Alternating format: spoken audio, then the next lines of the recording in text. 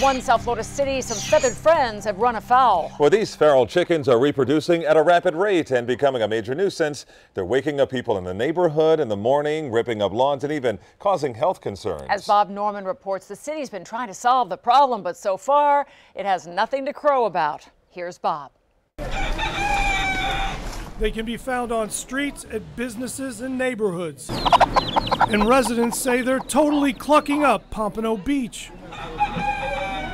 The chickens are a big complaint in this community. We learned of the problem from City Commissioner Beverly Perkins, This is the entrance. Who took us for a tour of the northwest section of town where the chickens have come home to roost. we're not sure where they're coming from, uh, but they're multiplying.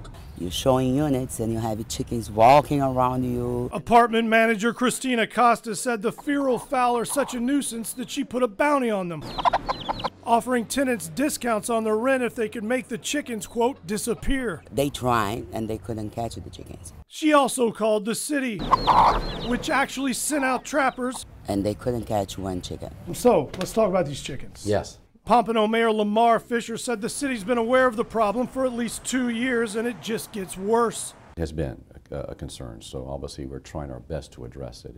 Code Enforcement Chief Mario Sotolongo says the city's found no feasible way of curtailing the lounging leghorns, which are already outlawed as pets. He said the city first tried to cite chicken owners. It's very difficult to uh, have someone uh, really admit, yes, this is my this is my property.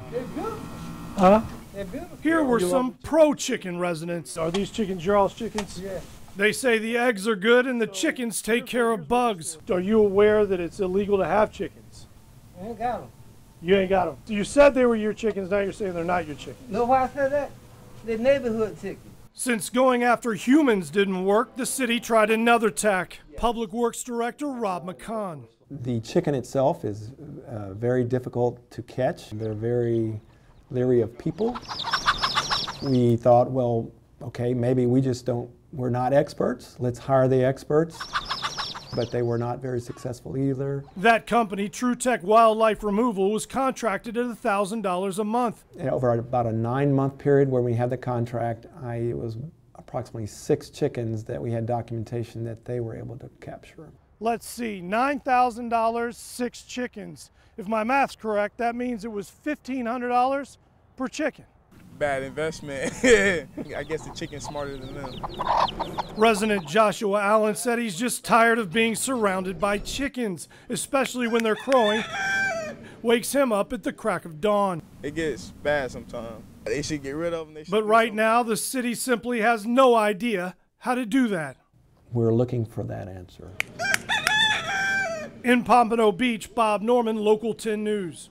As for those six chickens captured, the city says they were humanely put down by lethal injection. Officials say they do have traps available for residents free of charge, but right now, no residents are taking the city up on that offer.